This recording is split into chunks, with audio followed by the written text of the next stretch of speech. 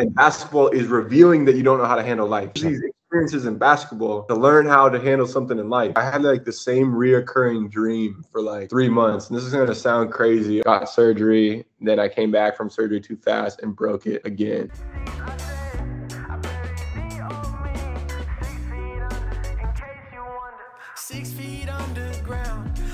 First off, I appreciate you coming here. I know you're a busy guy. I've seen almost we, we talked about this all your videos, and I know you have a busy schedule. So hey, I appreciate you coming today and sharing yeah, some knowledge yeah, with me.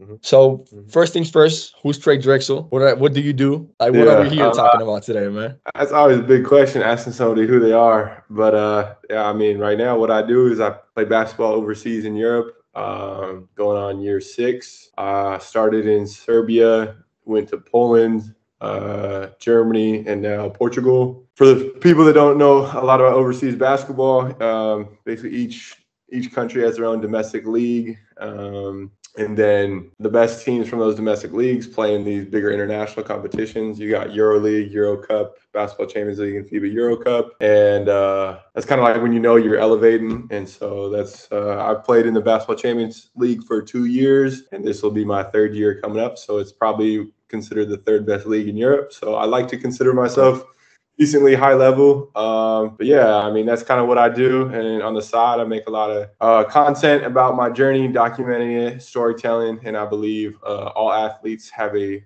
very inspirational story to tell. And I think uh, the athletic journey is inspirational because uh, athletics mirror life. And I think it's really relatable for people who don't even play sports um, to really get the real of the journey. And uh, that's, I started a YouTube channel and I uh, post a lot on social media, kind of sharing that journey because, uh, yep. yeah, I think it helps people and I think it motivates people. And that's kind of I mean, where my heart's at. I completely agree. I mean, it definitely helped me uh, we talked about this before, but it's crazy. We we really like connected with each other just from social media, and uh, it was all like. Remember, I told you the last time we met in Malaga. Um, I was with one of my teammates, Yoav, that he's probably watching this video, and uh, we started watching your videos. Like it was just inspiration. And you really inspired us to do ourselves our own series of videos with the 40 days straight getting better and everything. And yeah, we kind of connected from there. Then uh, we tried to plan something for the summer that didn't like we we're not gonna say anything yet. Oh it might be next summer. It might be next. It, summer. it might be next summer. Yep. But uh, yeah, man, I'm glad you're here. I'm glad you're showing your story. I feel like your story is very relatable to a lot of people. Uh, to some extent, I'm living the life that you're living in in Europe. I'm living in the United States. I left home. I'm away from my family. I'm trying to uh, make a living out of this. So I feel like we're on different paths, but we're similar on like a lot of things that we got to go through day to day. Uh, so that's really that's really nice that we have a, a, little time to talk and just share knowledge and everything. Uh, I haven't asked you this yet. First things first, why do you start playing basketball? Uh, you told me something about you in college. I know something about walk on spots and everything, but I want to know how Trey started playing basketball. What's your why? I, I mean, that's a big question. I mean, I think growing up, like I started playing basketball just because I love it. You know, uh, it's a very dynamic sport and uh, it's very creative. And I was better at baseball growing up. Uh, like a lot, a lot better. If I'm be honest, I was a really good baseball player. Um, always played up a couple years. Got my first okay. scholarship offer in baseball and not basketball. And so, uh, but I stopped. I just quit. I got a Division One scholarship offer, and I just quit the year after because for me, Division One baseball player. Yeah. Okay. Yeah. Okay. Big time. Uh, but it wasn't dynamic enough for me. It was very. Uh, I mean, it was calculated and stuff, but I didn't feel like I could really express myself in the way, same way you can in basketball. Because like in basketball, it's cool because it's unique. It's a blend of. There's so much style and like personality in basketball. Yeah. And for me, that's kind of why I started, you know, playing it and fell in love with it. I mean, my relationship with basketball has, uh, and and my why behind playing basketball has really like changed as I've grown up and as I've matured. Um, I, I, would even say in, in, in when I was younger, about 17, 18, and even going to college, a lot of reason I played basketball is to prove people that think to prove people wrong. It's just just show people that thought I couldn't be a basketball player because you know, uh, yeah, I don't know where I come from, the small little town. Nobody really plays college basketball or high level basketball, right. and, um, and no one in my family was like a you know Division One player, um, right? Stuff like that, and and I didn't really know anybody like that. No one in my friend group had. I mean, excuse me. Uh, there's a guy a year older than me. That's my brother Evan. I can't discredit him, but he was the first one in our friend group to play college basketball. Okay. But uh, I, I didn't want to discredit him right there. But uh, yeah, so I kind of did it to prove people wrong, and then I had went through a lot of stuff. Like it became who I was. Like a lot of athletes, like their sport is who they are, and I find it found out that was you know kind of fragile, and it led to a lot of different things. Um, but now it, basketball is more so for me. And yeah. the reason I still play basketball is how how I support my family, provide for my family, and it's how I think I build a platform to inspire others. I think um, basketball is a cool sport. This just genuinely has a cool factor, so a lot of people like to watch, and yeah, I'm I'm getting I'm getting pretty good at it. So I'm rising levels to where I have more eyes on me. But to me, like the part that's the most fulfilling is, you know, uh, the impact I can have on others and especially my family. So yeah, I feel like uh, to add to that too, I feel like we come from different perspectives, but like same idea. Like growing up, my dad was a professional basketball player, so like it was wrong if I didn't play basketball. You know, it's just like the thing that uh, if you if you have a, a, basketball dad and then you play soccer, it's like it doesn't it doesn't seem right. So just growing up, it was like a lot of things that I had to prove. Like it was a lot of pressure coming from my city, and uh, I didn't feel that at first. The last video that I posted actually was like first part of my story as a basketball player. So growing up until I came to the United States, and I feel like uh, it's hard sometimes, you know, to like put all those all that pressure on yourself. I feel like I still live that, like uh, not to the mm-hmm. same extent because I'm in the United States and nobody knows my dad. So it's more like yeah. I'm another kid from Spain. Yeah, that's one of the questions that I that I was gonna ask you later. Like, how do you deal with that pressure with the why that you have? How does that why support yeah. why you still do what you do? Because sometimes yeah. it's hard. Sometimes your uh your thoughts, you have a bad practice, maybe a bad week or a bad month. How do you overcome that? Uh it's definitely a different type of pressure now because like uh, now that basketball is like my job and like how I provide for my family, it's it's a very different dynamic. It's not just okay, you know, you play bad, get them next time. It's like okay, right. you really played bad for a season. That next year you might make much less money and uh, the life for your family might look very different and that's part of the, right. the, reality of playing overseas and so it used to really kind of mess with me and i've kind of grown a lot in my understanding of it because pressure means pressure nerves excitement uh, all these things mean that you care about the thing so right. it doesn't like there's this automatic idea that pressure is bad and uh, it's kind of this scary thing this thing that can overwhelm you and it only is what you make it. And so like for me like i've kind of transitioned this pressure and oh, okay i care about my family i care about my future these are good things okay? So now you take a step back and it's like okay what's the real pressure? I just got to put a ball through the hoop. Like i think it was damian lillard had a quote in a post-game interview like same thing how do you deal with pressure? And he's like this isn't pressure. Like i grew up not knowing where my next meal was coming from. That's right. true true pressure.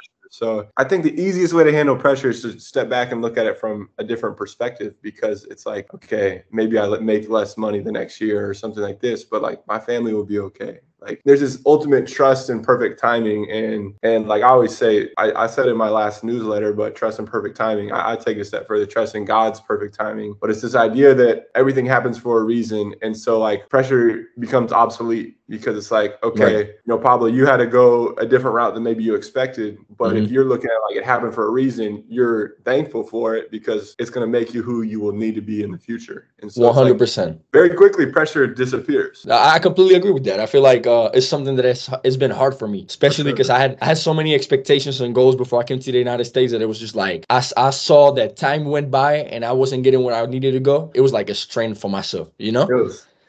And talking about that, I don't know if this is a topic that you want to get into, but uh, it's really big for me, and it's God and my belief in God. I think you went to a Christian school, right? Yep.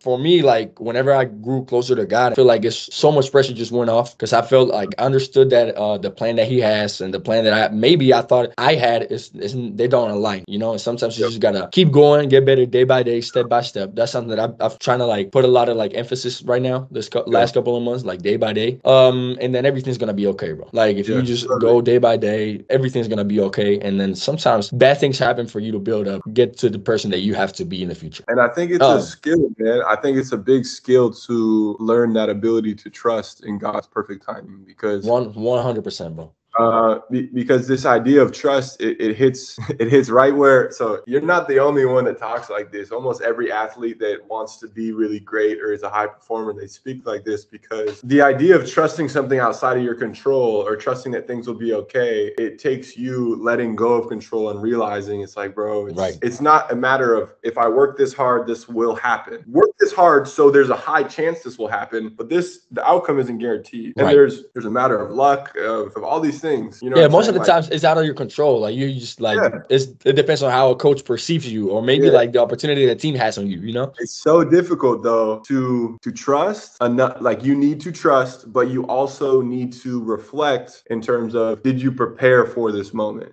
Right? So so there's there's a, there's a subtle like uh back and forth balance of okay trust and okay what you wanted didn't happen so maybe this God has something else in the Right. plans for you or something like this but also did you work and did you prepare enough for this outcome to happen you know what I'm saying so like you have to take responsibility for a lot of things but you have to also acknowledge that some things are out of your control One thing that I gotta add on that is the overthinking part, bro. Whenever you prepare yourself, I, th- I think I saw it in one of your videos that you saw you're uh I don't know if you said like a chronic overthinker, For sure. something like that. Um, same thing happens to me, especially on a new team that I'm at right now. You know, new concepts, new guys, everything. I'm like, damn, did I prepare enough? You know, am I ready? Like I'm, I start overthinking and overthinking and creating all these situations in my head. Uh, but sometimes that just comes from a preparation. I think in terms of overthinking too, and like what you're talking about is like you can very quickly overthink your way into a false reality because overthinking is 100%. a lot of time obsessing about scenarios that are not even real. Like you're 100%. actually putting yourself in these false realities so you can start making this narrative that you didn't prepare. And it's like the key to overthinking, I think, every time is to try and find things that ground you in truth. Like what are absolute truths in your life? You know what I'm saying? Like, and the way you get to these absolute truths in your life are things that you are wildly consistent in. And so, like, that's where I started um, kind of making big strides. I found things to be wildly consistent in. So every morning, I wrote down my intentions, and uh, I write down my intentions, and I'm like, okay, this is what I'm going to be today. Like, this is the truth. Today, I will be this because I wrote this down. I took the time to write this down. So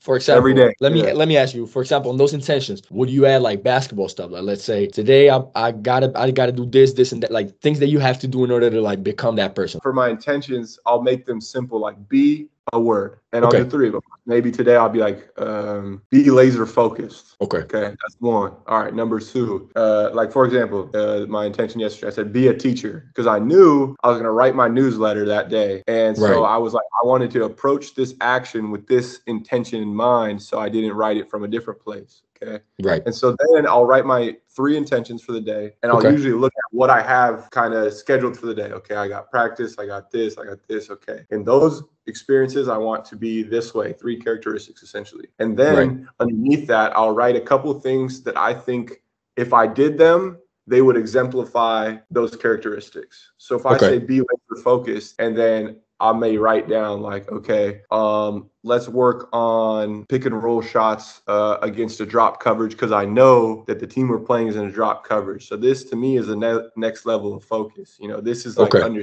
and being very detail oriented. You get what I'm saying? Yeah. So- hundred percent. So it's it's like you write down who you want to be, and then you write down how you are going to be who you want to be that Right. day. And now I'm telling you, do that for two months. Look back, and you're gonna be like, "Holy, I like what I see." Like, you're gonna Right. like what you see. Yeah, yeah, yeah, for sure. I feel, I feel like whenever you have a plan and you just like follow it, you're able to come back and actually see uh what you did. You know, like I feel like a guy that I've always uh, followed that does that a lot is David Goggins. He always says like I remember I read his book. He says something about like uh whenever you don't feel like doing something, whenever you feel like overthinking, you you gotta be able to like he said it. He said it like. He said like take a cookie from the cookie jar. Like go back to that memory that you had whenever you did something. Like for example, the 40 days was a big thing for me. It was just like saying, okay, I'm gonna do this. I'm gonna stay solid for 40 days, not miss a day, work out every day, and then that brought so much confidence into me because I knew I did something for a long period of mm-hmm. time. Why am I not gonna be able to do it one day at a time? So I completely agree. Whenever you have goals and whenever you're focused on getting better at certain things every day, you end up like making huge strides in the future. One thing, real Yeah, quick, a guy in your perspective, like going into a new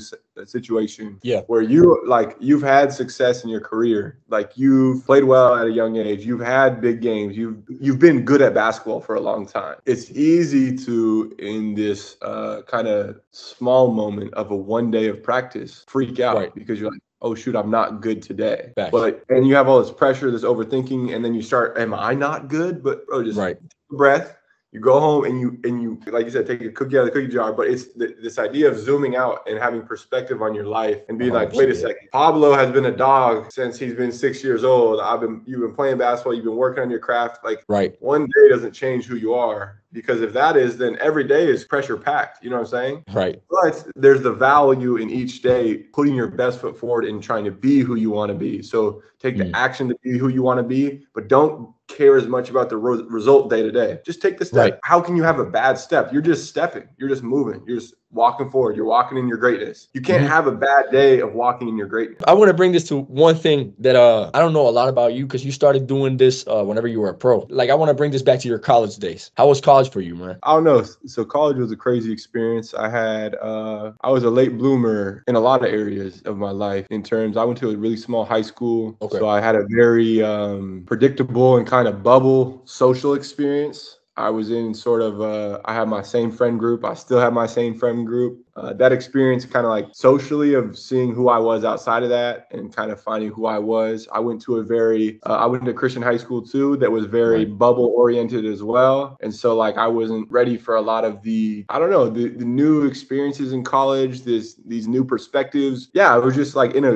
in a bubble. And so like Right. I think my first yeah I think I didn't necessarily handle that either. I think I was pretty immature. And so uh, when I look back to my college time, like I don't love the person I was, but I know in that period and who I've always been is someone that's trying to improve and trying to Right. become better. And I didn't have a lot of uh, self awareness in those moments, but I think now looking back, I still took the step every day. I was actively trying to figure out how to get better. Um, but I had a lot of, dude, I had a lot of, you know, tough moments. Like I, I walked Yeah. on my, my freshman year, so I didn't have a scholarship. I still got student Yeah, loans. I, my I did not year. know that. Whenever you told me that for the first time in my life, I was like, "What?" Yeah, That's it was crazy, bro. man. So I had uh my junior year of high school, I started getting a little bit of buzz. It was just like Division threes, some small D twos, and then the, it was my first year at AU. I only played one year, and it was my junior year. I was played on Friends of Hoop, where like Zach LaVine, Isaiah Thomas, uh, all these big names Okay. played. And uh first game of the scouting period, I broke my pelvis going up for a dunk. Like my whole leg gave out. It's like crazy, nasty injury, and all the little colleges that were talking to me, they left, and I ended up recovering in like ten weeks, eight weeks. Made it back for my senior high school. Player of the year in my small division. It was like the fourth division basically in high school. So we only had like hundred. And divisions are are not by how good your teams are, just how. I, I was about to say, people here, they're not people from Spain, especially, especially they, Yeah, they're don't understand. okay, Yeah, they don't even understand how college works either. So, But, like, no, but, but so this was high school. This was high school, and Right, your, right. your school is separated by how big, how many students are in your school. Right. So similar size schools play each other, and we were like the there's six divisions. We were like fourth, so it was pretty small. Okay. But I was a player of the year in that division, and After that I had a, probably like three, probably about five or six Division two offers, um, and I had a seventy percent offer to the school I ended up going to. But when I had called the coach to commit, uh, he had told me that the scholarship offer would be there until May fifteenth. I called May fourth, and he was like, "Oh." Sorry, son, we gave it away. no. And I told all, the other Division twos I wasn't interested. So then I went and I played played au I, I tried to do Okay. this, and I had some Division one walk on spots, but I I had already fell in love with that school, and so ended up going there as a walk I on. feel you, man. That's big was though. crazy, what's, bro. What's crazy is my my my boy Dalton Hamas, who played for Baskonia. bro, He was a he was good. No, No. he was a walk on at my school too. No way. I swear What's to God. going on with that school, man? I like, Bro, I walked on that year. He walked on the next year. Now we're both where we're at. It's just like crazy. Hey, that coach was a good recruiter, man. I tell you. he had to be, bro. like, hey, Yeah. that's big though. That's big. That's betting on yourself. I respect But it didn't go smooth either. Like when I first got there, it was same thing. I didn't think I belonged. I was all nervous. Uh, took me probably about a month to settle in. I probably was one of the worst players that first month. Month and then I kind of settled in and yeah but once you realize who you are and you're like oh wait you know I can be I can compete here and be really good Right. uh, I settled in quick and then that next year I was on a full scholarship and but Okay. my freshman and sophomore year I had these crazy I, so I broke my foot the same bone three times in I think it was 13 months You've really dealt with injuries. Oh, dude, that, it, man. is, bro. it was the same exact injury. So I broke my fifth metatarsal, which is like really common. It's like the outside of your Yeah. foot. It's called the Jones fracture. Fracture. K- KD had it. Damian Lillard had it. I think Paul George might have had it. It's like a really common thing in, Okay. in basketball players because you're on your, your toes a lot, and so there, there's pressure. Mm. So I broke it, and uh, someone had told me to not get surgery. Oh, no, so sorry. Before I broke it, I got a stress fracture in a different bone. Changed how I moved. So that was the first stress fracture. Right. Changed how I moved, and then I came back from the stress fracture like in like ten weeks. Broke the outside of my foot, and then uh, they told me like like someone gave me the advice not to get surgery, but this is something you get surgery right away. It's like an easy fix. Right. So I didn't get surgery, and then that made the process longer. And then I had to get surgery, got surgery. Then I came back from surgery too fast and broke it again. Nah, bro. Like through the screw. Like, the screw was in my screw was in my foot, and I broke it only all the way to the screw. It was Nah, bro, that's that's crazy, bro. How do you deal with all those injuries that early as a college player, bro? Because like Yeah, I've, I've had injuries, but not like that, man. Thirteen months is way too much. Uh, I don't know. I think it goes back to that one foot in front of the other. Like I was depressed. I, I mean, like you're in college, so you're drinking a little bit, but like drinking by yourself type stuff. And yeah, it's just a lot to handle, especially when I had identified as a basketball player. Like I was. Like, I was oh, about I'm to a- say, and that's big time. I think that's something that a lot of players uh, deal with today is that basketball, like, it just takes so much of who they are that whenever you're not actually doing that, it's like, it's just like hard, you know? Yeah, but dude, I, I had like, yeah, I had like the same reoccurring dream for like three months. And this is gonna sound crazy, almost like I don't know, it was weird, but it was this dream that I was like running away from like this shadow. And the shadow was chasing me. And I run, Yeah. I'm screaming, like yelling at people to help me. No one could hear me because they couldn't understand what was going on. And then What? I would run up to the roof of my house. I would jump off the roof, and then right before I hit the ground, I wake up for three months straight.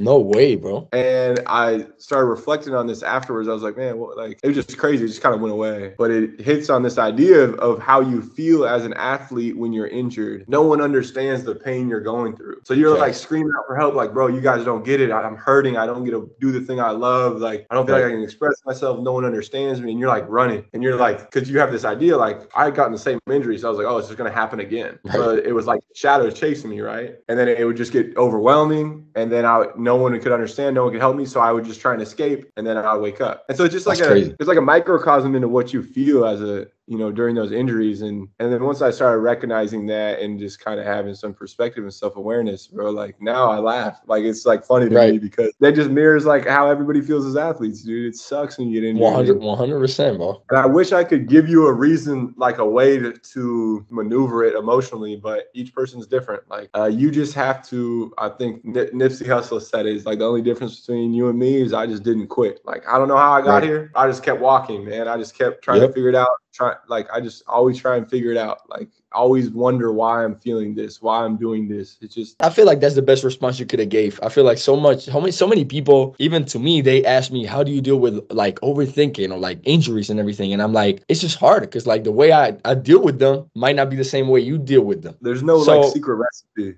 Right. Like I have this uh, secondary Instagram account that I just post basketball videos and all my reels and everything. And I was like, I'm bringing this high level pro. I didn't say who you were, so this is gonna be live. Like nobody knew. But um, I was like, if you could ask him a question, what would it be? And I had the same question over and over again. And it was like, what steps do I have to take in order to become a pro? Or what steps do I have to take in order to like, you know what I mean? And it's like, I get it. Like, I know you want to make it. I know it's like everybody's dream to play basketball is to live Yeah. from basketball. But it's like, it's just different for everybody, you know? Yeah, I, but I mean that's like a great question. Like I had this those same questions growing up, and I just didn't really have anybody in my life like willing to Right. take the time to just help me understand why I'm asking those questions and and stuff. And that's kind of like my motivation bet- behind my YouTube channel and like sharing Mhm. content and trying to be open and honest about my journey. Is like guys feel like someone's kind of alongside them. Like I'm still going through the same things. It's just One like hundred I-. I've just learned like different ways to handle them. But I, I mean, when you ask that question, I think the two things are you got to be adaptable and you got to be hard headed and like never quit. And then you got to be lucky um, and blessed. Like, like I can't deny I'm six foot six, like 210 pounds. Like that's some of the hard, hard things. Like sometimes like I'll get a dude be like, I'm 5'8", 130 pounds, 22 years Right. old. How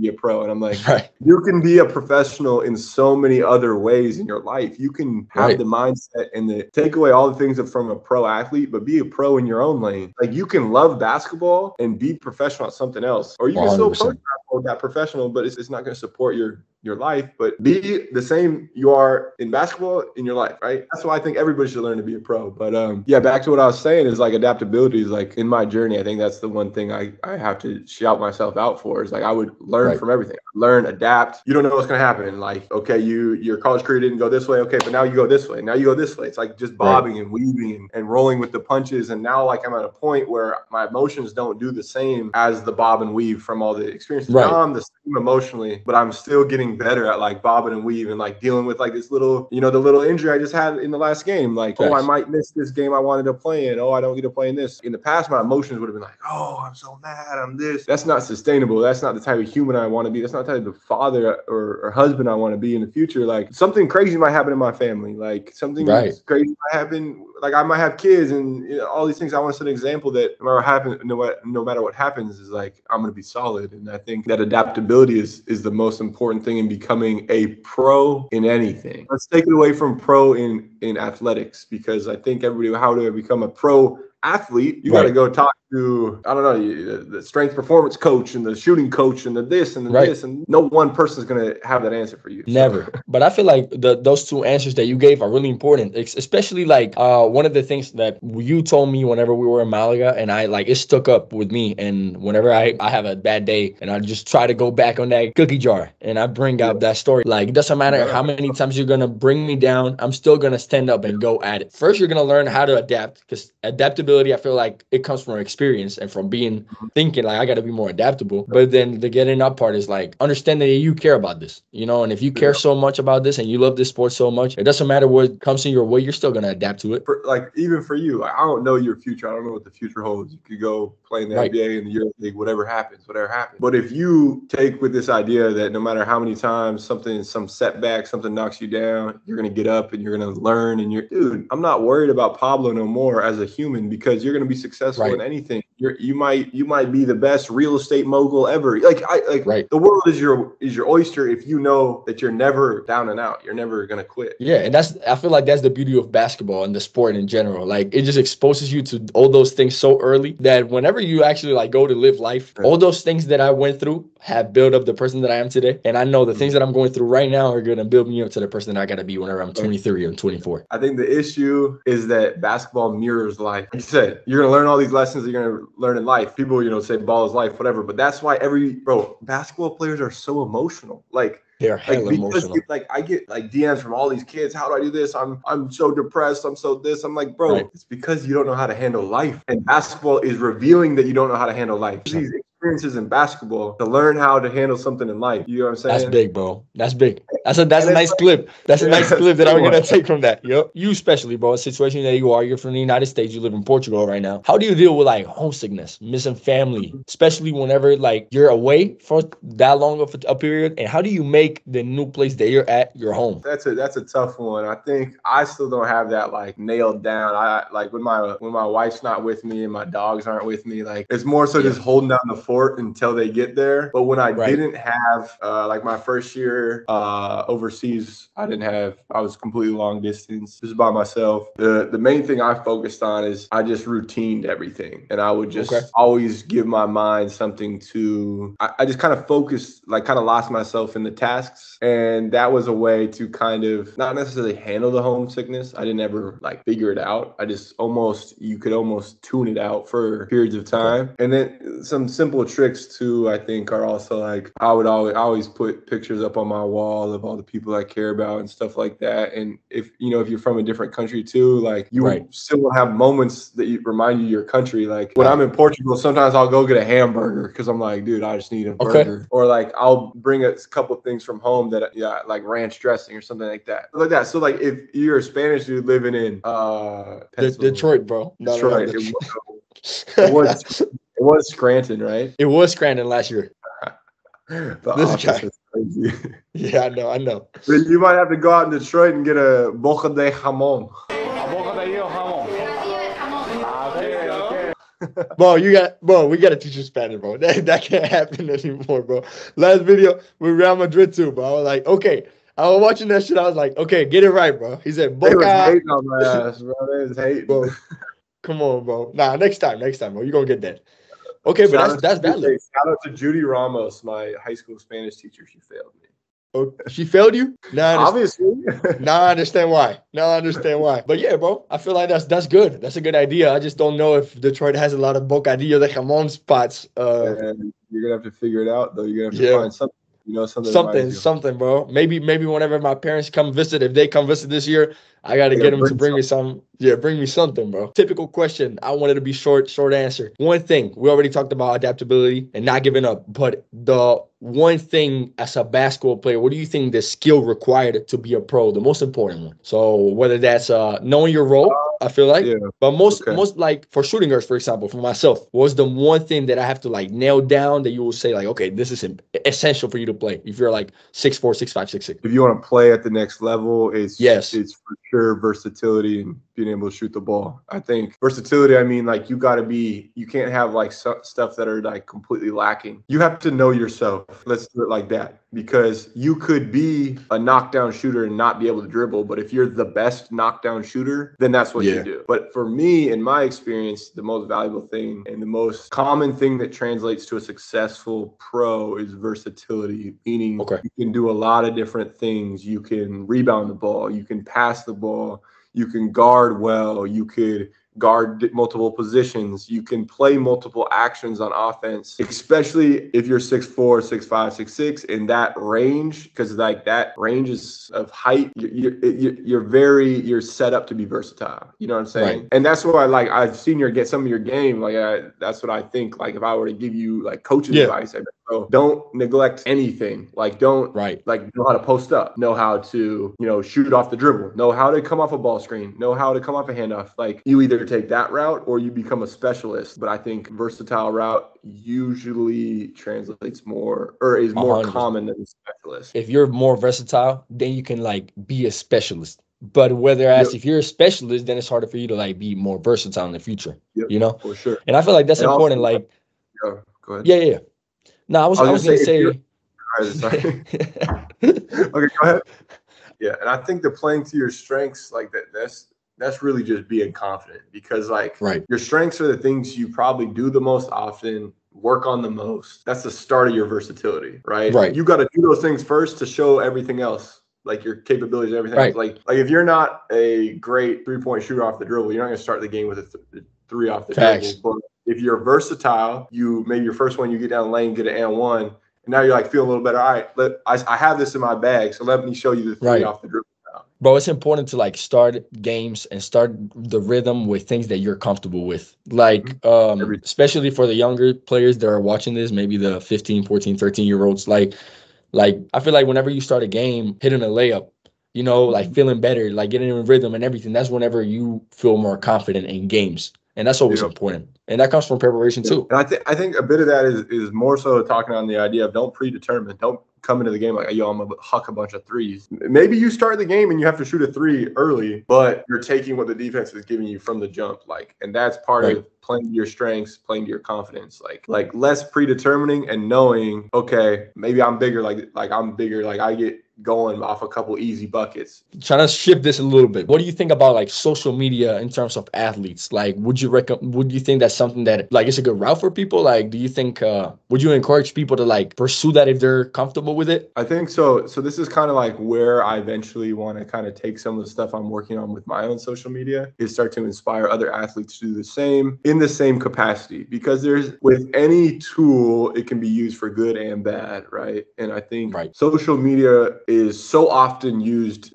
uh, incorrectly or in a way that is not supporting an athlete's performance, right? You're comparing, right. you're focusing on highlights, you're focused on results and not the process. There, there, there's because all you're seeing is this. That that's one side of social media, but there's another side, and kind of what I've been doing with my social media is doing the type of content that pushes my mind and my game, and it's almost another avenue that is parallel to my my actual basketball development okay. and because my content is based on you know my basketball development personal development game film all these different things it only right. helps my basketball game and so like right. that's what i encourage at all athletes to do is build that personal brand that not only is like social media and stuff but like it supports your sport. You know, build 100%. a brand that supports your sport and your development as a human and athlete. Because like right.